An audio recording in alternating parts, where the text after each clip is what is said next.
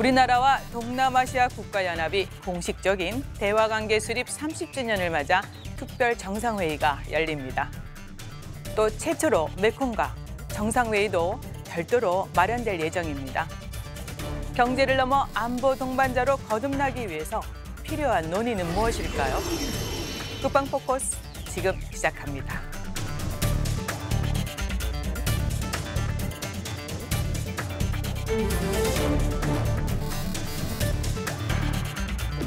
무한한 가능성과 잠재력을 가진 나라, 평화와 번영을 위한 전략적 파트너.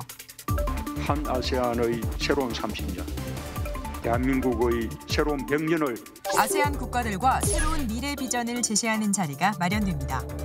더 나은 미래를 위해 필요한 것은 무엇일까요? 지금부터 살펴보겠습니다. 시청자 여러분 안녕하십니까? 윤지연입니다. 지금부터 한 아세안 특별 정상회의 및 제1회 한 메콩 정상회의 개최에 앞서 기대 효과와 함께 안보 파트너십 구축 방안을 살펴보겠습니다. 함께 분들 소개해드리죠. 이재현 아산정책연구원 아세안 대양주 연구센터 선임연구위원 나오셨습니다. 안녕하십니까. 최경희 서울대학교 아시아연구소 동남아센터 선임연구원 나오셨습니다. 안녕하십니까. 조원득 국립외교원 아세안 인도연구센터 연구교수 나오셨습니다. 네, 안녕하십니까. 오는 11월 25일 한 아세안 특별 정상회의가 부산에서 개최됩니다. 정부가 추진 중인 신남방 정책과 맞닿아 있는 아주 중요한 이벤트인데요. 문재인 대통령이 선거 공약에서부터 외교 정책 전면에 내세운 신남방 정책. 핵심 지역이 바로 아세안인데요. 그 이유는 무엇인지 먼저 들어보겠습니다. 네, 이 박사님. 네.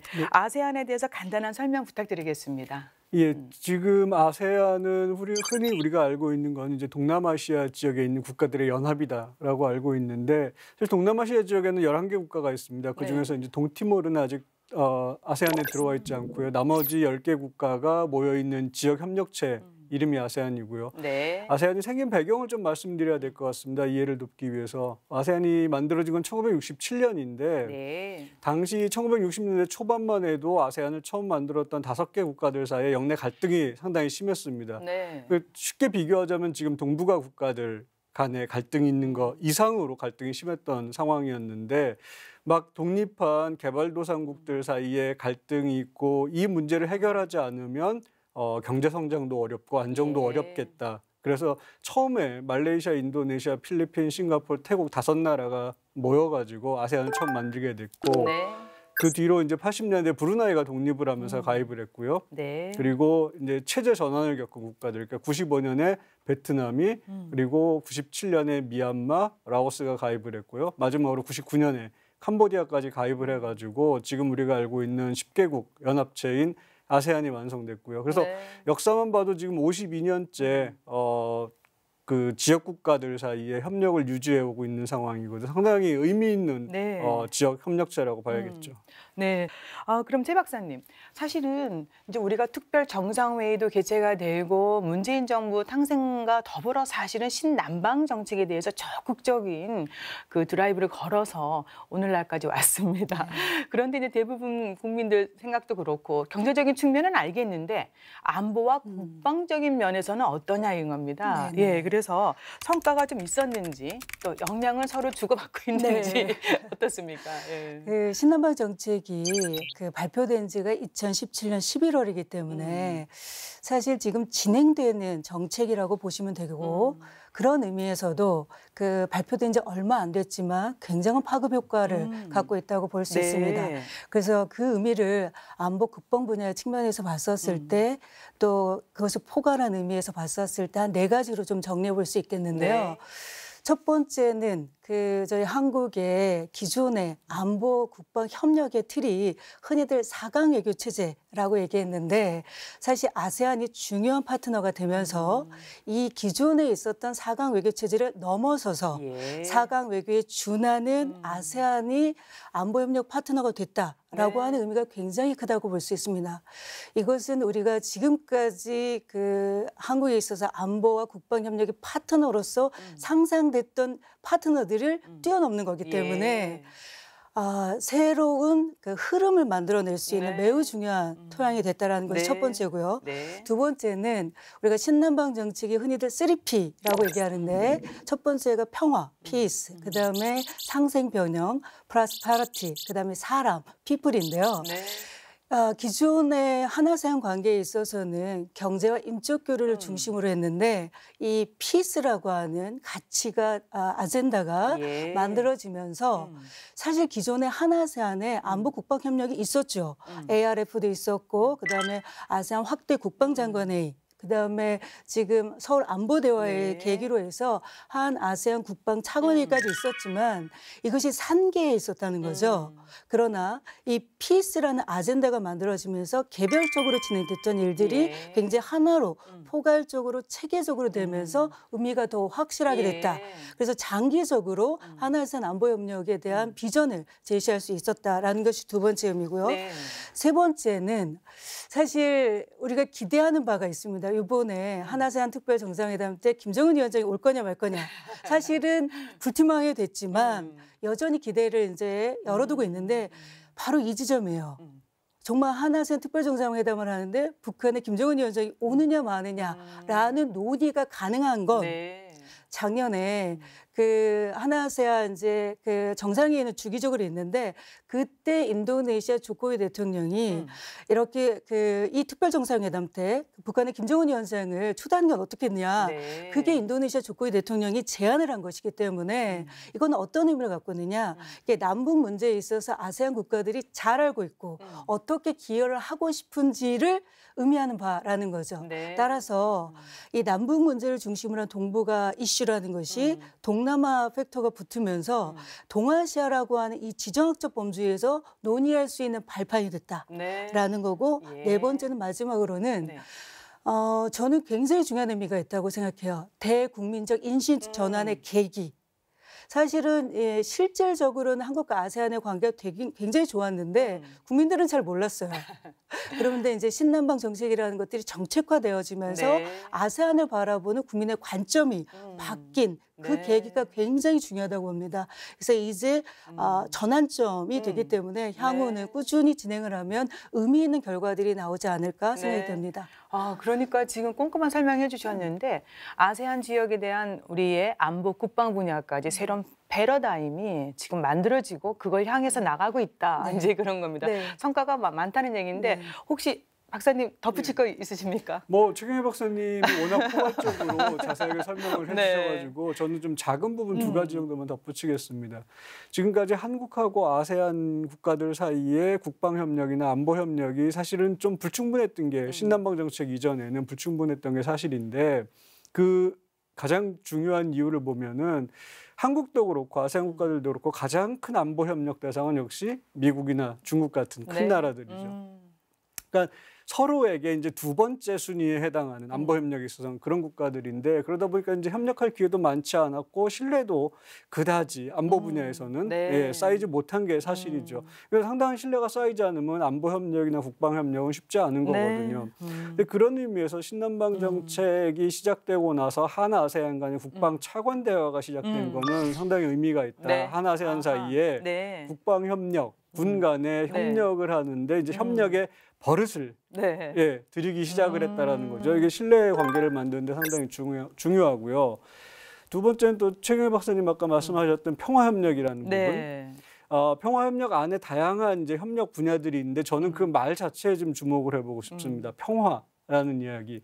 이 평화라는 것이 그냥 안보 협력이나 음. 군사 협력과 다르게 상당히 포괄적이긴 한데 이거는 안보 협력이라는 거, 군사 협력이라는 건 좀 어떻게 보면 강대국들이 네. 힘을 가진 국가들이 이야기하기 음. 좋은 부분이거든요. 한국이나 아세안 국가들처럼 지역에 이제 뭐 중소국가 내지는 음. 중견국가로 분류될 수 있는 국가들은 네. 평화라는 문제에 집중을 하는 것이 보다 예. 도덕적으로 어, 지역에서 큰 이야기를 할 수 있는 바탕이 되고요.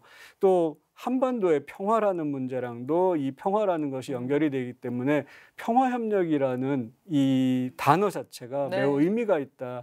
좀 그런 생각이 좀 있습니다. 아, 신남방 정책이 이렇게 많은 내용을 담고 있는지 오늘 또 새삼스럽게 깨닫습니다. 네. 신뢰 구축 그리고 평화 협력이 네. 강화되고 있습니다.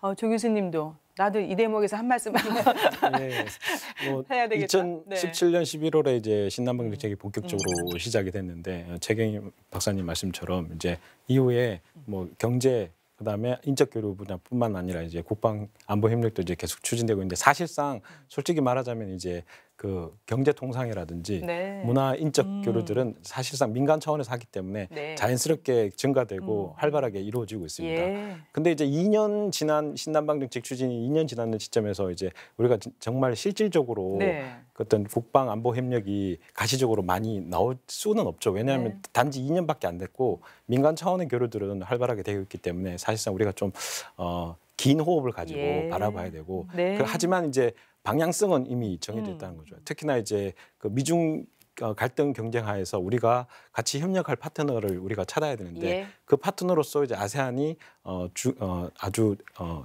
그 잠재적인 네. 그런 우리의 협력 파트너로 예. 될수 있다는 그런 인식을 지금 조금씩 조금씩 우리가 하고 음. 있기 때문에 그런 분야에서 우리가 이제 아세안이 원하는 어떤 안보 협력, 음. 특히나 이제 비전통 안보 네네. 분야에서 우리가 음. 협력을 할 수 있는 부분, 특히나 해양 안보 분야에서 예. 우리가 음. 협력을 할 수 있고 음. 반대로 어, 아세안은 과거에는 이제 어, 주변부로 한반도 정세에서 음. 주변부로 했었지만 이제 어, 제1차 미북 정상회담이라든지 2차 미북 정상회담을 통해서 어, 한반도의 평화 프로세스에 어떤 기여를 할 수 있는 네. 우리 안보 파트너로 지금 성장하고 있다는 네. 그런 측면에서 봤을 때 음. 아주 올바른 방향으로 어, 네. 가고 있다고 이제 생각하고 있습니다. 어, 그 전에도 우리가 관계는 맺었었지만 예. 신남방 정책이라는 정책을 딱 수립이 된 거는 2년밖에 안 됐지만 정말 많은 성과 있습니다. 음. 이제 이제 시작인데 근데 이제 사람들이 그럼 정말 이제 새로운 파트너를 모색하고 있는데 음.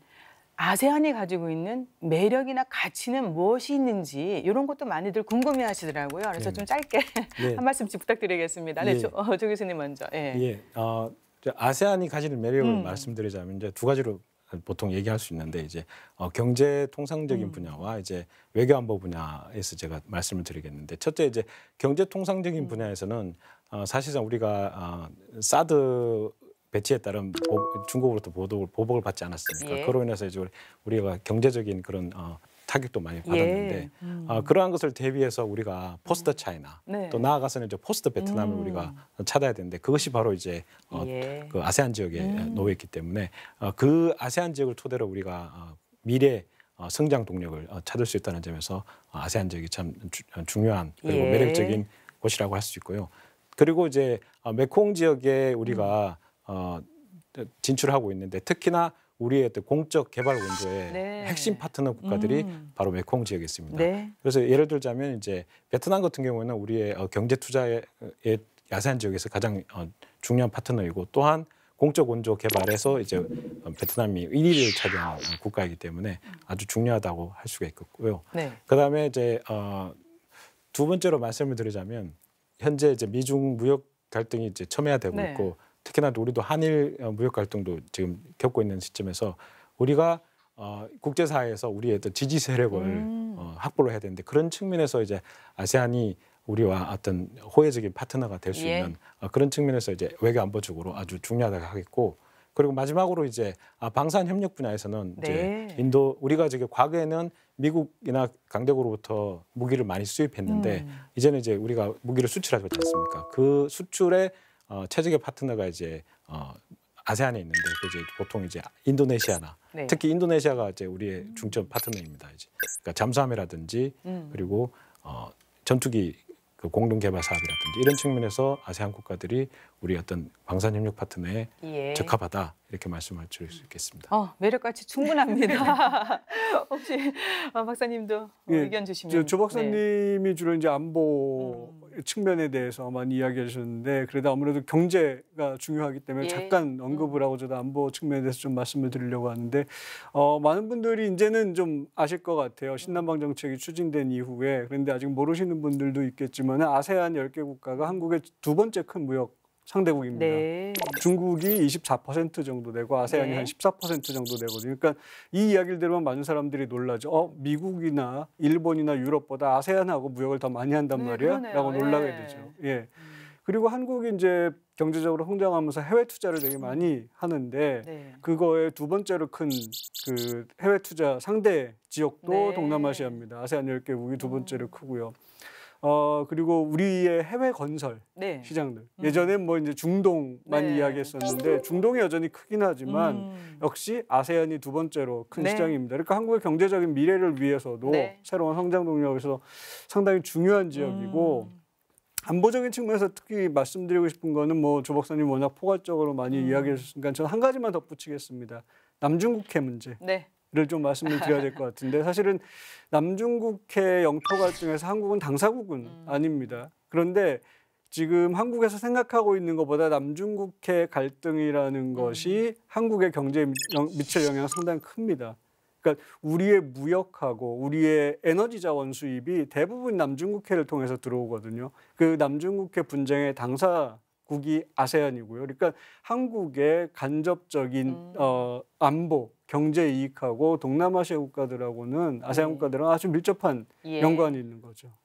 어, 해양 안보 협력에 대해서는 또 추후에 네. 한번 더 질문을 드려보겠습니다. 네, 최경희 박사님. 네. 매력 네, 덩어리입니다. 네, 매력 덩어리입니다. 예. 네. 두분의 박사님이 음. 경제적 외교의 음. 매력을 얘기했는데 조금 저는 저 다른 포인트 사회문화적 매력에 예. 대해서 얘기를 좀 말씀드리고 싶은데 음. 사실은 음. 그 아세안과 우리가 굉장히 문화적으로 차이가 있을 거라는 생각을 좀 음. 많이 하는데 실질적으로는 그 사회를 움직이는 저변에 있는 음. 이 전통 문화라고 네. 하는 것들이 우리랑 굉장히 음. 유사하거든요. 그래서 아세안의 심벌을 음. 보면 거기에 이제 볕단 무늬가 있는 걸로 음. 해야 되는데 이것은 농경 문화에 기초한 음. 전통 문화가 우리랑 굉장히 유사하다는 거죠. 예. 그래서 사람들의 가치관, 음. 문화 이런 것들이 굉장히 유사하다는 거죠. 그래서 경제적, 완보적뿐만 아니라 음. 사회 문화적으로도 우리랑 네. 굉장히 친근할 수 있는 그런 문화적 매력을 갖고 있다. 예. 또 하나는 인구적인 매력이요. 음. 정말 그 지금 전 세계적으로 그러니까 이 세계 경제 규모로서는 제3세 번째로 규모 지대인데 아 그만큼 인구가 많다는 거거든요. 네. 6억 4천만 명인데 음. 그 유- 인구 중에서도 젊은 인구가 굉장히 많아요. 예. 따라서 한국의 인구 대책을 위해서도 네. 아, 아세안의 인구의 매력은 너무 중요하다. 네. 세 번째는 지정학적 매력이라고 음. 봅니다. 왜 지금 미국과 중국이 그 아시아 태평양 지역에서 인도 태평양 지역에서 이렇게 으르렁댈까? 음. 네. 이것이 음. 아세안이 갖고 있는 포지션의 문제거든요. 중국과 맞닿았고요. 인도와 맞닿고 있고요. 그래서 아세안 그다음에 가까이에 중앙아시아 시장하고도 네. 가까이 있어요. 음. 이 지정학 이게 기초한 음. 지경학적 의미에서 네. 아세안이 갖고 있는 매력은 아, 놀랍다라고 네. 볼수 있습니다. 네, 정말 아세안 우리 미래 함께할 파트너임에 틀림이 없습니다. 갑자기 베트남 쌀국수가 생각나네요. 네. 어, 계속해서 오는 25일 개최될 한 아세안 특별 정상회의에 대해서 집중적으로 얘기 나눠보겠습니다. 올해 벌써 세 번째이고요.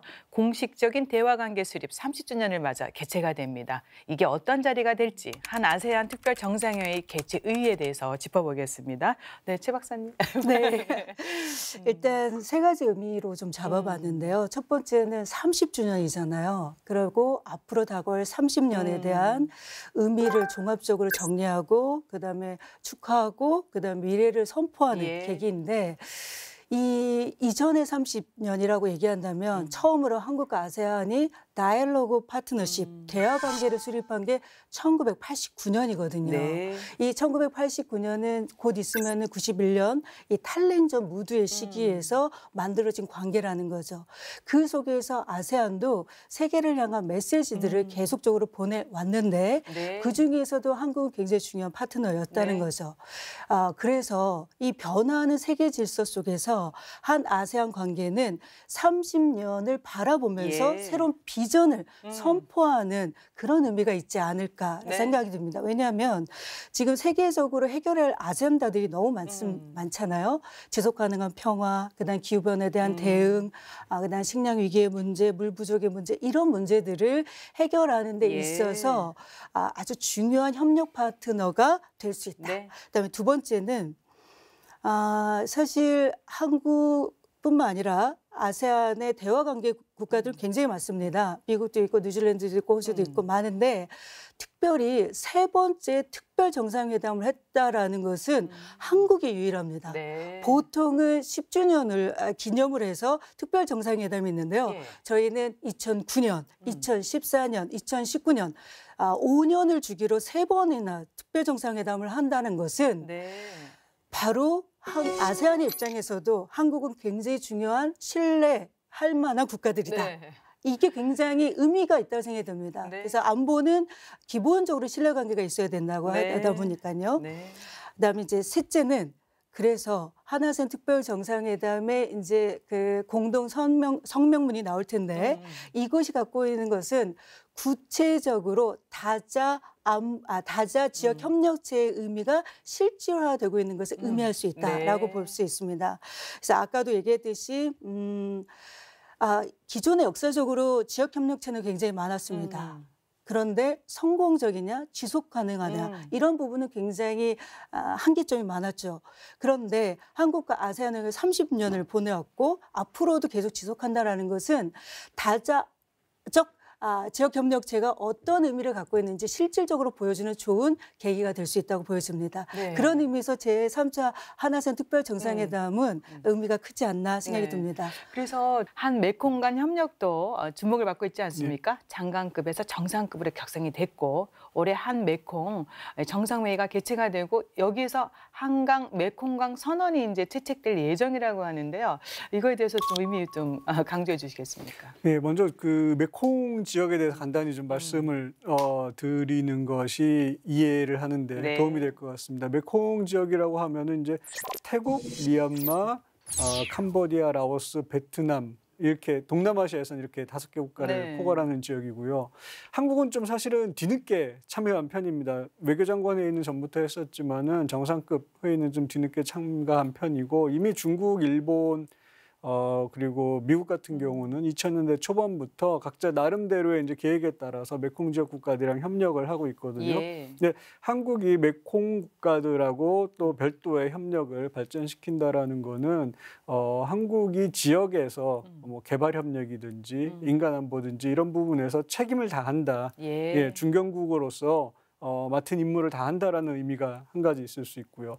지난 9월에 문재인 대통령 음. 캄보디아, 라오스, 태국 방문하셨거든요. 네. 그때 나왔던 이야기 중에 하나가 어, 비전입니다. 한 메콩 협력 비전에 관한 음. 이야기인데 그 세 가지 요소가 있습니다. 첫 번째는 어, 발전 경험의 공유, 두 번째는 지속 가능한 번영, 세 번째는 동아시아 평화와 어, 상생 번영이란 예. 이야기인데 뭐 이렇게 놓으면 다 경제 협력에 관한 이야기였죠. 첫 번째 같은 경우는 이제 우리가 어떻게 어, 우리의 발전 경험을 그들과 공유할 것이냐. 두 번째는 이제 어, 그 지역을 발전시키는 데 있어서 어떻게 이제 환경 친화적으로 네. 지속 가능하게 발전시키냐라는 건데 세 번째 부분에 좀 어, 한메콩 사이의 안보적인 음. 의미가 좀 들어 있습니다.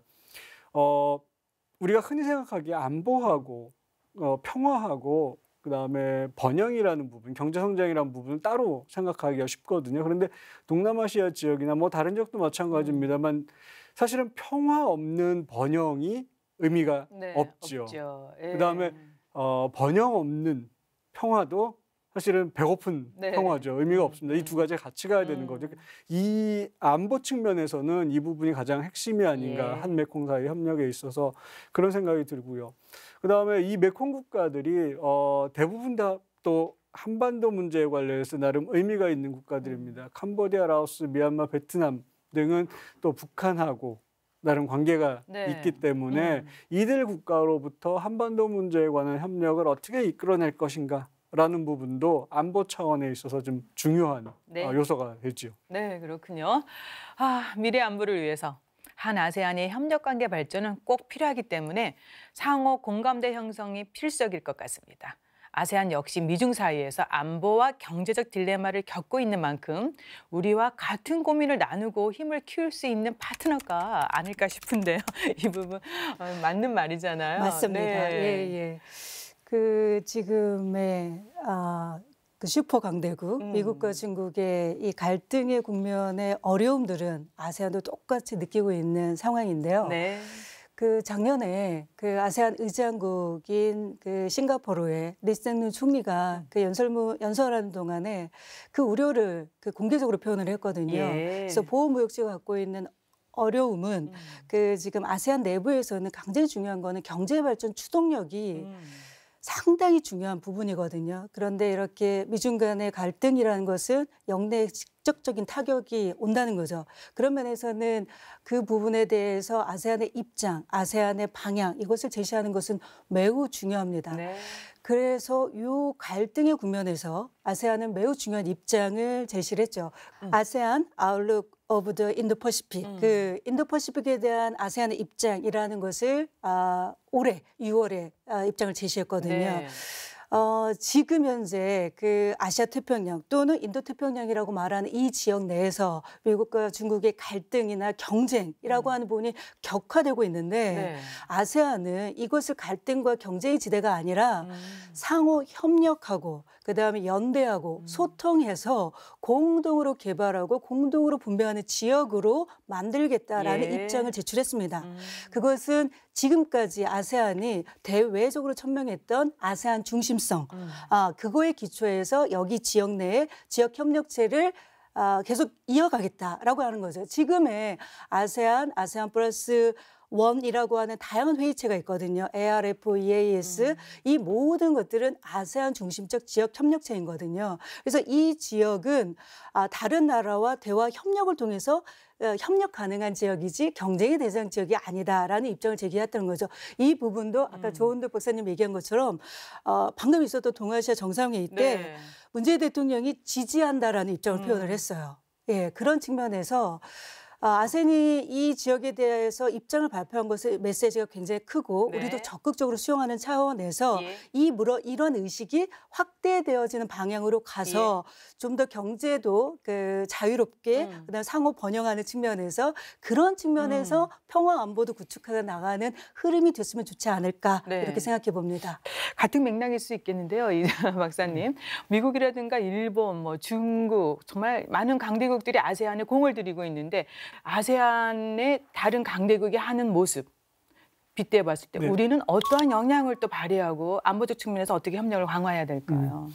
그 어, 주변에 있는 강대국들이 네. 아세안을 바라보는 어, 시각이라는 거 안보적 차원에서 음. 보면은 뭐 미국하고 중국은 너무 당연하게 음. Indo-Pacific이라는 미국의 네. 계획과 중국의 일대일로라는 계획이 충돌하는 정확하게 만나는 지점이 네. 동남아시아입니다. 음. 그 작은 그 카테고리로 남중국해서 또 두 상대가 충돌을 하고요. 그런 점에서 아세안은 미중 입장에서 어떻게 해서든지 열 나라를 한꺼번에 자기 편으로 끌어들여야 되는 상대인 거죠. 네. 미중을 떠나서 일본, 이제 호주 이런 나라들, 인도도 있고요. 이런 나라들이 또 아세안을 둘러싸고 있는데 이런 나라들 입장에서는 호주 입장에서는 지정학적으로 아세안이 대단히 중요합니다.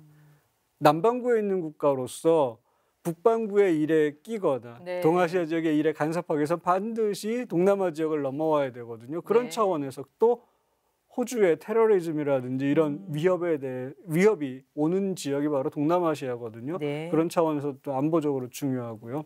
음, 일본 같은 경우는 뭐 역시 미국과 같이 가는 안보 협력이라는 차원에서 중, 또 중국의 어, 이 힘을 동남아시아에서 어떻게 해서든 좀 네. 차단해보겠다라는. 음. 근데 한국 입장에서 보면은 네. 우리 아세, 어떻게 잘 활용해야 될까요? 아세안 국가들은 음, 음. 우리가 지금 내세울 수 있는 장점이 있습니다. 안보 문제에서 한국은 뒤에 히- 숨어 있는 아젠다가 없는 국가죠. 음. 그러니까 일본, 미국, 중국, 뭐 호주 이런 주변의 큰 국가들은 아, 아세안과 안보 협력을 통해서 또는 아세안과 거리를 좁힘으로써 우리가 이런 거를 이뤄내야겠다 지역적으로 하는 히든 그 숨은 아젠다가 있는데 한국 같은 경우는 그런 아젠다가 없거든요. 그러니까 단순하게 아세안과 안보 협력을 통해서 서로 어, 안보 이익을 나누어 가지는 좀 어떻게 보면 좀 절친 친한 네. 친구로서 협력을 발전시키자는 거고 또 중국, 일본, 미국 이런 나라들하고 다르게 한국은 동남아 지역 국가들하고 역사적인 문제가 예. 거의 없습니다. 음. 그 점도 한국이 동남아 국가들에게 어필하기에 네. 되게 좋은 네. 장점이라고 할 수 있죠. 우리에게 유리한 점도 많습니다. 예. 지정학적으로, 지경학적으로 예. 좀잘 더욱 더 활용해야 되겠습니다. 아, 그래서일까요? 지난 9월입니다. 우리나라가 태국과 군사정보보호협정, 즉 지소미아를 체결했습니다. 아세안 지역으로는 필리핀에 이어 두 번째이고요. 또 메콘 그룹에서는 유일하게 지소미아를 체결한 건데 의의와 기대 효과 그리고 앞으로 다른 아세안 국가들과의 협력 동력으로도 작용할 수 있을지라는 어, 질문을 어, 최 박사님에게 드리고 싶습니다. 네. 가능한 거죠? 그럼요, 가능하죠. 그리고 네. 우리 이재영 교수님께서 잘 음, 얘기해 주셨는데 한국과 아세안의 그 안보 협력이 굉장히 중요한 것처럼 네. 사실 신남방 정책의 구체적인 결과로서 태국과 지소미를 맺었다라고 네. 볼 수도 있다는 거죠. 어, 태국이요 굉장히 중요한 위치를 갖고 있는데 우리가 너무나도 잘 알가, 알다시피 동남아 여러 국가 중에서 식민지를 유일하게 경험하지 않은 나라 네. 그 태국이에요. 음. 태국이 굉장한 외교력을 갖고 있다라고 볼수 예. 있거든요. 음. 또한 지금 남중국해 이슈에 있어서도 이 문제를 해결하는 데 있어서 그 담당국으로서의 태국의 역할도 아, 기여하는 바가 매우 크기 때문에 네. 이런 정보 교류라고 하는 차원에서 한국은 굉장히 어드밴티지가 있다는 거죠. 어, 실제로 비전통적인 안보 이슈라고 말하는 초국가적인 범죄, 음. 사이버 안보, 해양 안보 이런 모든 것들이 다 정보의 문제거든요. 네. 사실 지속 가능한 안보 혁명은 정보 교류에 있다. 음. 그 첫 출, 아, 물론 필리핀부터 시작해서 태국 이 부분을 제가 보기엔 싱가포르, 인도네시아로 확장을 계속해서 예. 실질적인 정보 교류의 어, tool을 만들어야 네. 되지 않을까 이렇게 생각해 봅니다. 태국은 또 네. 6.25 전쟁 때 네, 또 우리 많은 한 맞아요. 또 군인들이 파병해져서 많은 또 협력 관계가 계속 음. 유지되고 있지 않습니까? 네. 정말 지소미아 협력 네. 특별한 의미가 있는 것 같습니다. 그리고 이제 그동 뭐 가를 넘어서 동남아 그러면 가장 떠오르는 단어 하나가 아까도 우리가 살짝 얘기했지만 남중국해 갈등이 중국하고는 이제 첨예화되고 있지만 또 별도로 이 동아시아 지역의 어떤 해상 교통로로 굉장히 중요하지 않습니까? 우리 무역의 거의 뭐 99% 이상이 이 해상로를 이용하고 있는데 그런 점에서 조 박사님, 우리 해양 안보 협력 어, 강화될 수 있, 있다고 생각하고 또 어느 쪽으로 방향을 좀 더 확대하면 좋을지 의견을 좀 주시겠습니까? 네, 야, 어, 지난 11월 그 동아시아 정상회의 때 어, 대통령께서 어, 발언을 하신 게 이제 어, 모, 대부분의 국가들의 해상 통로인 교통로인 남중국해의 어떤 비군사화를 지지하고 음. 그리고 항행과 비행의 자유를 어, 어, 적극적으로 어, 존중하면서 국제법을 존중한다는 이런 어, 차원의 발언을 하셨는데 아, 그러한 측면에서 우리도 이제 어, 이들 지역의 어떤 그 남중국해의 평화와 안정에 어떤 기여하는 방안을 좀 찾아야 됩니다. 네. 특히나 이제 어, 남중국해 문제에서 가장 어, 첨예하게 어, 관여되어 있는 국가가 바로 이제 베트남입니다. 네. 그런데 베트남은 저희 그 최대 어, 아세안 제 최대 투자국이고 협력국이기도 합니다. 그래서 이제 사실상 이제 어, 신문을 통해서 보시, 아시, 보셔서 아시다시피 어, 베트남이 이제 중국 어선들의 때문에 피해를 많이 봅니다.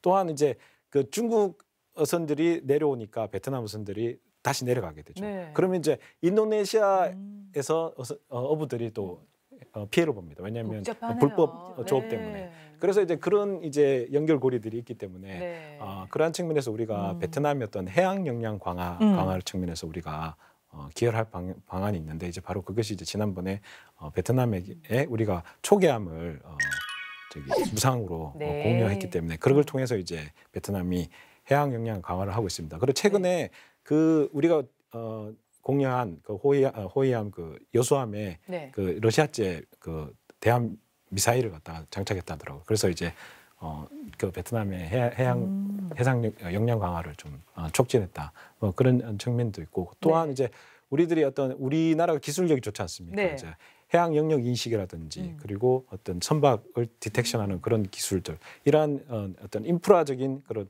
기술들을 예. 어, 좀 해상, 해상 측면에서 어, 음. 공유하는 그리고 그 경험을 어, 주고 그리고 또 장비들을 또 어, 제공해주고 그런 기술들을 좀 주는 그런 좀 우회적인 방법으로도 시작해서 좀 이 남중국해 문제에 어떤 기하는 방안을 좀 찾아볼 필요가 있지 않나 그렇게 생각됩니다. 네.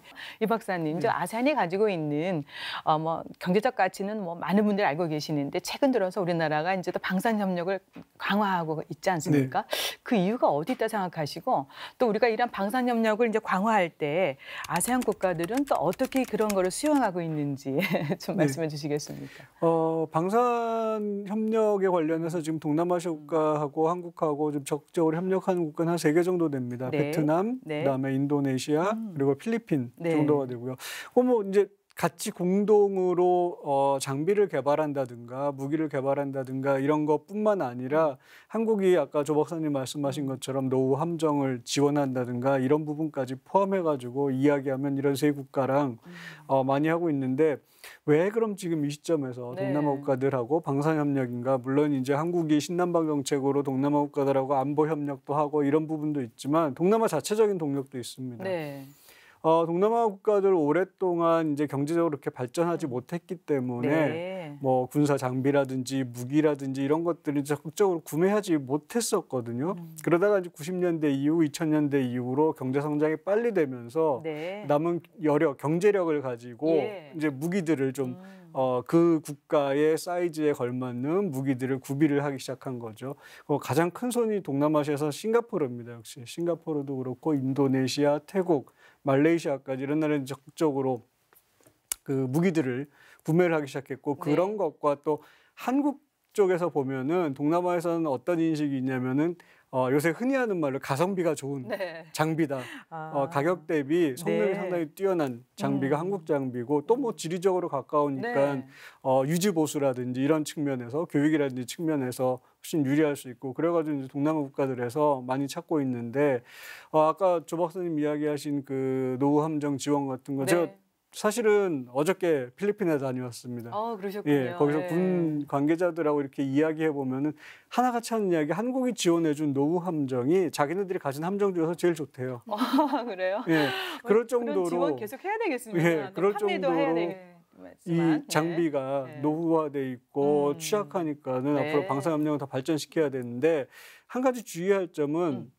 방산협력을 통해서 우리가 경제적인 이익을 가져오는 건 분명히 있습니다. 그런데 네. 음. 이거를 우리가 너무 앞에다가 내세우거나 예. 너무 크게 이야기하면 좀 곤란하겠죠. 네. 예, 그 부분이 한 가지 있고 음. 방산협력을 통해서 동남아 국가들하고 국방이라는 음. 부분에서 신뢰 관계를 하나씩 쌓아가는 음. 한 발씩 쌓아가는 예, 그런 음, 부분에 좀 더 초점을 네. 두고 방산협력을 해야 될 거다라는 생각입니다. 아, 정말 굉장히 중요한 말씀 해 주셨습니다. 네, 이런 방산협력 외연을 확대하기 위해서 꼭 주의할 점이 네. 아닐까 싶은데, 어, 최 박사님도 한 말씀 듣고 싶은데, 이제 어, 우리 국내 국산 무기를 또 수출하고 또 이런 동남아 또 아세안 국가 주요 국가들하고 방산협력을 확대하기 위해서 또 많은 기대 효과도 우리가 생각해 볼 수 있는 데 어떤 기대 효과가 있고 또 이제 확대하기 위한 방안을 좀 더 말씀해 주시면 어떨까 싶은데요. 네. 저희가 그 아세안을 대하는 태도에 있어서 음. 아세안은 한 덩어리이기도 하지만 음. 아세안은 조금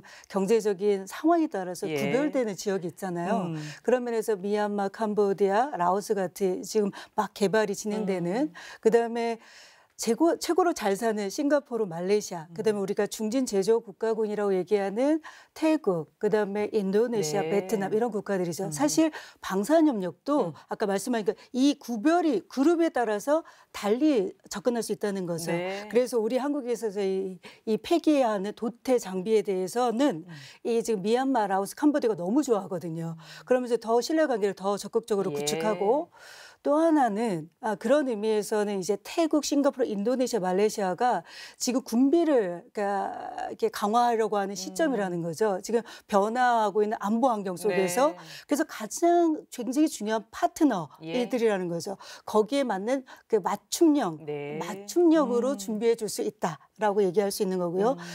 싱가포르는 아까 말씀드린 너무 중요한 대상 음. 국가인데 이그 무기 체계 40%를 자체에서 생산하고 네. 있을 만큼 굉장히 기술력이 음. 굉장히 좋다는 거죠. 그런 면에서 아, 동남아 10개 국가들 중에서도 특별히 음. 싱가포르와의 그 방산 협력을 좀 전략적으로 네. 챙겨와야 될 필요가 있다라는 생각이 듭니다. 이것이 영내 함의하는 바가 굉장히 크다고 볼수 네. 있거든요. 아, 그런 의미에서는 이 방산 협력은 음. 기술 협력, 경제 효과 다 충분히 아, 바라볼 수 있는 부분이기 때문에 네. 그러나 중요한 거는 우리가 신남방 정책에서 평화라는 아젠다를 네. 매우 중요시 제출하고 있기 음, 때문에 음. 이 방산 협력이 최종적인 규결은 평화이어야 된다라는 예. 부분이 강조된다고 봅니다. 네, 그렇군요. 아, 이제 방산 협력도 아세안 지역과의 새로운 또 파트너십 구축 필요한 시기인데 이제 아세안은 또 한반도 비핵화를 촉진하기 위한 제3의 조력자가 될 수 있다. 특히 이제 북한의 정상 국가와의 중요한 역할을 할 수 있다라는 전문가들의 말도 많습니다. 이제 이게 어떤 의미고 아세안과 북한과의 관계는 어떠하고 아세안은 어떤 키를 쥐고 있기에 북한의 변화를 또 이끌어낼 수 있는 중요한 역할을 할 수 있을지 이런 부분에 대해서 조 박사님 좀 짧게 정리해 주시겠습니까? 네, 네. 예, 아시 다시피 이제 아세안은 이제 북한과 모든 아세안 국가들이 북한과 외교 관계를 맺고 있습니다. 네. 그래서 이제 오랫동안 외교 관계를 음. 맺고 있기 때문에 어, 북한은 아세안을 좀 편안하게 생각합니다. 아, 예. 지난번 그 김정은 위원장이 어, 베트남을 방문했을 때 하노이를 방문했을 때 그 TV에 보면 이제 옛날에 호치민이랑 그 김, 김일성 주석이랑 이제 만나서 서로 네. 이제 허그하는 음. 껴안는 그런 이제 장면이 TV에 나왔었는데 그만큼 이제 베트남과 어, 이제 북한과의 관계도 오래되어 있고 그리고 베트남 전 때 이제 북한이 어, 베트남을 북베트남 그 당시 북베트남이죠 베트남을 이제 우회적으로 예. 간접적으로 많이 음. 지원을 했고요. 그리고 이제 어, 냉전 시기 때는 이제 아세안 국가들 아, 특히 이제 인도네시아 같은 국가들은 또 비동맹 운동에 또 어, 저 leading 국가였기 때문에 네. 어, 그러한 측면에서 이제 그때 당시에 수카르노 어, 그 대통령과 김일성 어, 주석이 이제 상당한 어, 우애와 끈, 어, 끈끈한 어, 그런 관계를 맺었기 때문에 어, 그러한 측면에서 아세안과 구- 어, 북한은 좀 어, 친근한 네. 편안한 그런 음. 어, 그 어떤 국가라고 이제 인식을 하고 있습니다. 어, 그런 측면에서 이제 어, 우리가 가장 중요시하고 있는 게 지금 이제 북한의 비핵화이고 네. 그리고 이제 나아가서 한반도 평화 프로세스인데 사실상 이제 비핵화라는 게 사실 아세안 국가들이 직접적으로 관여하는 그런 아젠다는 아니거든요. 네. 예를 들어서 이제 미국이라든지 중국이라든지 아, 실질적으로 한반도 평화 프로세스에 어, 이해 당사국들이 이제 어, 영향을 미치고 그것이 이제 협상으로 가서 이제 나중에 비핵화가 타결되는데 네. 어, 그 이후에 포스트 비핵화, 그러니까 음. 비핵화가 된다고 해서 예. 계속 평화가 유지되는 건 아니거든요. 음. 북한이 또 이제 이익이 안 맞으면 비핵화해서 다시 돌아올 수 있기 때문에 예. 그것이 이제 계속 유지되게끔 할 수 있는 방안으로 이제 어, 간접적인 방안으로 아세안 국가 특히나 이제 그 체제 유지를 하면서 개혁 개방하고 있는 라오스라든지 캄보디아 같은 국가들의 어떤 모델을 어, 북한과 북한의 모델과 접목을 음. 시켜서 북한이 그것을 이제 어, 그 참고 경험을 참고한다면 예. 음. 이제 체제 유지를 위한 어떤 경제 발전이라든지 그것이 이제 어, 북한 국민들의 어떤 어, 만족을 어, 국가에 대한 만족을 어, 높이면서 이제 그것이 이제 북, 김정은 위원장이 원하는 체제 유지와 연결될 네. 수 있기 때문에 음. 그러한 측면에서 이제 북, 어, 아세안 국가들 특히나 이제 어, 사회주의 공산주의 국가들이 예. 어, 그런 어떤 모델을 결, 경제 발전 모델을 갖다가 이제 음. 어, 북한에게 보여줄 수 있는 어, 그러한 측면에서 어, 그 아세안 국가들의 역할이 아, 크다고 볼 수 있습니다. 네. 어 그래서요. 이 박사님. 그러니까 아세안 내 노른자 위 그룹 한 메콩인데 이렇게 얘기 들어보니까 우리보다 북한 쪽에 전통적으로 오랜 세월 더 이렇게 기울여지지 않나 이런 생각 다시 한번 해보는데 그럼 안보적 측면에서 우리에게 또 도움을 이끌어내야 됩니다. 어떤 특별한 전략이 있을까요? 어, 지금 뭐 조원덕 박사님 많이 음. 이야기하셨는데 그 메콩 국가들 네. 특히 이제 캄보디아, 라오스, 음. 베트남 같은 국가들은 과거에도 공산 과거에 공산주의였고 지금도 공산주의 지금도, 체제를 네. 음. 유지하고 또 미얀마도 버마식 사회주의 하에서 어, 북한하고 그 가까운 관계를 유지했었고 이래가지고 북한하고 가까운 관계가 있는 게 맞고요. 지금도 베트남이나 캄보, 저 라오스 같은 경우에는 당대당 접촉도 있는 게 맞습니다. 근데 이런 관계들을 사실은 우리가 역으로 활용할 필요가 있겠죠. 네. 우리가 북한한테 전달하는 메시지나 북한이 변하는 것이 어떻게 북한에 도움이 되는지 네. 사실은 뭐 캄보디아, 라오스, 베트남 이건 이미 보여준 거거든요. 네. 체제전환을 하고 경제 성장의 길로 나갈 때 어떻게 성장을 할 수 있는지 보여준 거니까 그런 부분들을 한국이 역으로 활용해야 되겠죠. 네. 그 반대급부로 음. 한국은 뭐 지금 이 국가들이 좀 북한이랑 가까운 관계인 것 같다라고 하지만 이제 결정적으로는 북한하고 한국을 놓고 봤을 땐 한국 쪽으로 올 수밖에 없는 음. 국가들이거든요. 경제적인 도움도 그렇고 여러 가지 측면에서요. 네. 그러니까 이런 것들에 대해서 우리는 우리가 지원해 줄 수 있는 바는 음. 충분히 하면서 네. 그 반대급부로 북한에게 이런 메시지를 좀 전해달라라는 네. 식으로 활용을 할 수가 네. 있을 것 같습니다. 중요한 것 같습니다. 그리고 우리 미얀마가 요즘에 이제 우리의 중요한 또 경제 네. 파트너를 부상하기 때문에 더더욱 그런 전략 활용하면 좋을 것 같은데 근데 그렇다고 그럼 북한은 가만히 있지 않을 것 싶은데 이제 북한에 대한 그 압박이나 제재가 고조로 했던 시기가 2016년, 2017년 아닙니까? 그렇지만 최근에 뭐 그 전에 6년 뭐 봐서도 양장한계를 도둑 하게 하는 것이 이제 북한의 전략인데 그런 틈새 전략 우리 들어갈 수 있을까요? 최 박사님 어떻습니까? 예. 들어가야죠. 음. 그 기본적으로 아세안 국가들도 그 북한의 핵을 갖는 거에 대한 위험성에 대해서는 음. 다 저, 그러니까 동의하는 바입니다. 네. 그래서 그 제재가 있을 때는 제재 흐름을 가고 있는 건 맞지만 이렇게 북한을 고립화시키는 것이 음. 장기적으로 이 문제 해법이 아니다라는 게 아세안의 네. 생각이라는 거죠. 그래서 항상 한국의 입장한테도 아세안을 얘기를 할 때 우리가 그 핵을 갖고 있는 거는 문제이지만 음. 아, 북한을 고립시키지 말고 대화의 창구로 끊임없이 나오게 해라. 그 역할을 계속 주문하거든요. 네. 그런 면에서 아세안은 굉장히 중요한 역할을 하고 있고, 아 그런데 그 구체적으로는 또 평양에는 음. 캄보디아, 인도네시아, 라오스, 말레이시아, 베트남 5대 동남아 국가의 대사관들이 다 있어요. 정말 실질적으로 상호 관계를 하고 있다는 그러네요. 거죠. 예. 네. 이 대사관의 역할은 어마어마하다고 음. 볼수 있습니다. 그래서 그 인도네시아 이 평양에 있는 여- 그 사무관들은 페이스북으로 베트남 아니 평양 소식도 알리고 그러거든요. 네. 예. 그런 면에서 그 중에서 캄보디아, 라오스, 베트남이 메콩 국가에 해당되는 거이죠. 음. 그 중에서도 베트남이 갖고 있는 의미가 굉장히 크잖아요. 우리가 이제 제 1차는 싱가포르였고 제 2차는 아, 베트남에서 그러니까 북미 정상회담에 네. 있는 것처럼 그리고 제 3차도 아, 동남아 어딘가에서 하기를 바라거든요. 근데 그렇게 될지는 잘 모르겠지만 네. 예. 그러면서 베트남은 굉장히 꾸준히 오랫동안 그러니까 남북의 통일에 관련돼서 베트남이 기여할 바에 대해서 준비를 하고 있습니다. 우리가 좀 아, 전문가들을 만났었을 때 우리에게 그런 역할을 주어두면 적극적으로 하겠다라는 네. 입장들도 계속적으로 발표를 하고 있거든요. 또한 이제 두 분의 박사님이 얘기하신 것처럼 음. 이 비핵화 이후에 북한이 아, 경제개발 모델을 어떻게 할 네. 것이냐라고 했었을 때 사실 소련과 중국은 덩치가 너무 큰 나라거든요. 음. 가장 유사한 국가들 중에서 베트남, 아, 동남아의 사례들이 굉장히 의미하는 바가 큰데 그 중에서도 베트남의 아, 이제 노이모로 일어난 개혁개방이라고 하는 이 경제발전 모델은 굉장히 의미가 네. 크다는 거죠. 음. 그런데 베트남은 누구를 바라보고 있느냐? 우리를 바라보고 있잖아요. 그럼 만약에 어, 북한은 베트남을 바라보고 있고 베트남은 우리를 바라보고 이게 삼각 체제가 이루어질 수 있다는 거죠. 상호 긴밀하고 네. 또한 사실 베트남의 경제 발전 모델보다는 사실은 싱가포르의 모델을 더 중요시 여기고 있어요. 그러니까 이게 이 동북아의 물류와 금융의 허브로 사실은 그 김정은 위원장이 북한을 그렇게 경제 성장을 끌어올리고 싶은데 그것이 싱가포르를 갖고 있는 그 지정학적 위치에서 했었던 경제 발전 모델과 굉장히 맞고 있거든요. 네. 그리고 제 1차 북미 정상회담 갔었을 때 싱가포르를 이렇게 쭉 돌아봤잖아요. 네. 음. 그리고 그- 그때 그 교육부 장관과의 그 아, 만남도 굉장히 중요하거든요.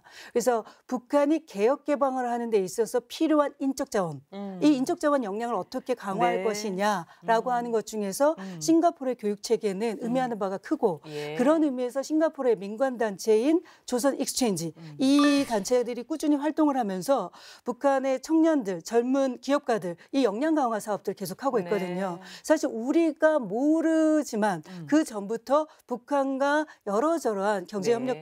채널을 갖고 있었다라는 거죠. 그래서 향후 기대하는 바가 굉장히 크다고 볼 수 있습니다. 네, 네. 그러니까 한 메콩강 음. 관계를 더 확대하기 위해서는 북한하고 메콩 지역의 확대에 대해서도 우리가 배울 점이 있습니다. 숨은 의미를 좀 네. 파악해 볼 필요가 있는데 이제 일각에서는 아세안 국가와 경제를 넘어 정치 및 안보 분야까지 강화해야 한다 이렇게 강조하면서도 어, 사실 정상 순방을 빼면 손에 잡히는 협력이 없다는 지적도 있습니다. 기존의 대아세안 정책 무엇이 문제였을까요? 예, 박사님. 좀 뭐 우리가 개선할 점은 또 많지 않을까 싶은데 어떻습니까? 예. 어, 뭐 기존에 한국이 아세안에 대해서 가졌던 정책, 특히 이제 안보적인 부분에 초점을 맞춰 보면 사실 어, 정치 안보 부분 음. 협력이 경제나 사회 그 문화 부분 협력에 비해 상당히 뒤처져 있는 게 현실이고요. 네. 근데 그 이유를 좀 구조적인 측면하고 음. 한국의 잘못된 접근 방법 네. 과거에 이렇게 음. 좀 나누어서 이야기를 하고 싶은데요.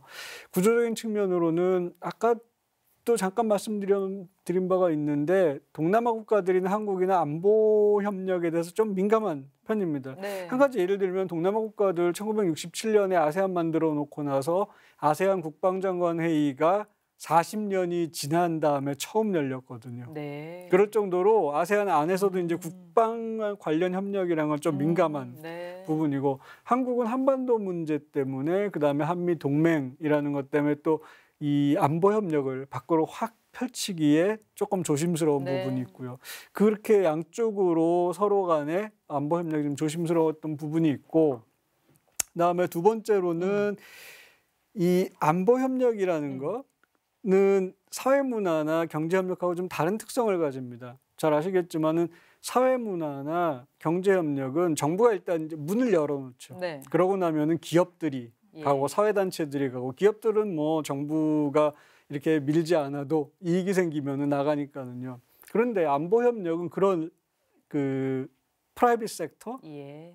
민간 부분이 없는 거죠. 처음부터 끝까지 정부의 음. 일입니다. 그래서 정부가 끝까지 끌고 가야 되는데 사실은 바쁘죠, 정부가. 여러 다양한 일들을 해야 되고 음. 그런 게 한 그런 구조적인 문제가 있고 음.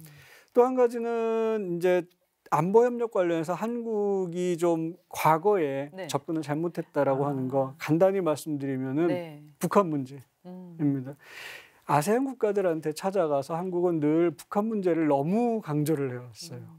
아세안 국가들 입장에서는 한반도 문제라는 게 한국, 북한, 핵무기를 가진 북한도 있고 그거보다 더 크게는 중국, 러시아, 미국, 일본이라는 강대국들이 모여 있는 장인데 여기에 쉽게 껴들기가 어렵거든요. 네. 근데 그런 점을 우리가 조금 더 생각을 하고 접근을 했었어야 했는데 늘 가가지고 어, 북한 비난하는 음. 거, 한반도 문제에 관심 네. 가져달라 이런 일방적인 네. 어, 우리가 요구만 했었거든요. 음. 그래서 북한에 관련된 사실은 피로감이 좀 있습니다. 동남아 국가들 음. 사이에서. 그래서 이런 피로감을 어떻게 해결을 하냐라는 문제하고 아세안 국가들한테 한반도 문제에 관심을 가져달라고 그러면 우리도 그만큼 그들의 안보 문제에 네. 관심을 가져야 되는 거죠. 맞습니다. 예, 네. 서로 주고받는 게 음. 일어나야 되는데 음. 그런 양방향 협력이 지금까지 일어나지 않았다라는 네. 문제가 좀 있었죠. 뭐 경제 분야 중요하지만 안보나 국방 분야에서 정말 동방 성장할 수 있는 그런 과제에 대해서 예. 찾아내야 되겠습니다. 예, 네. 알겠습니다. 네, 정말 이제 얼마 남지 않았습니다. 한 아세안 특별 정상회의와 한 메콩 정상회의 성공 개최를 위해서 끝까지 이것만은 놓치지 말아야 한다는 부분이 있을 겁니다. 또 지난 30년을 뛰어넘는 한 아세안의 관계 도약을 위해 필요한 것은 무엇인지 좋은 말씀 부탁드리겠습니다.